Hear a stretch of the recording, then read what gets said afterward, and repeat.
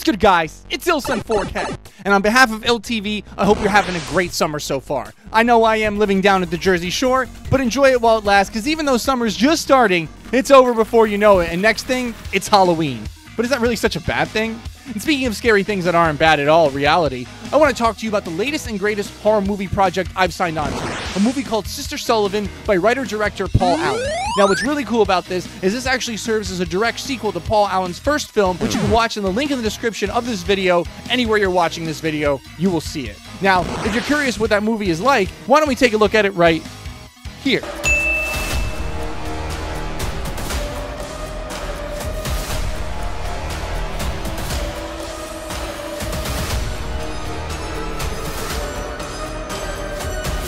Now, this film, like I said, picks up right off to this film. So in The Sister Sullivan, we have Jenny, the sister of the harvester, who is struggling with her own mental problems and seems to be descending into a spiral of madness and ultimately having the hardest time choosing between right and wrong and following in her brother's footsteps or not. And I gotta tell you, it seems like a very intricate and awesome plot, and judging by Paul Allen and his team, which I am truly privileged to be a part of for this project, he is going to knock it out the park, and I cannot wait to see and be a part of this awesome vision.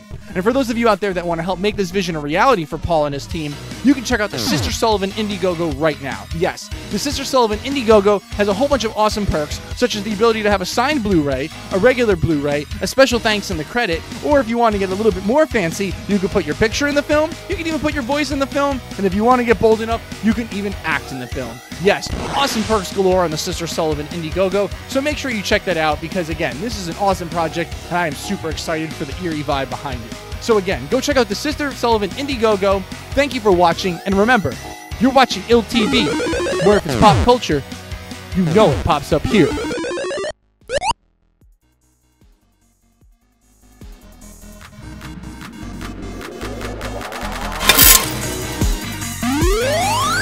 You're watching ILL TV, where if it's pop culture, you know it pops up here.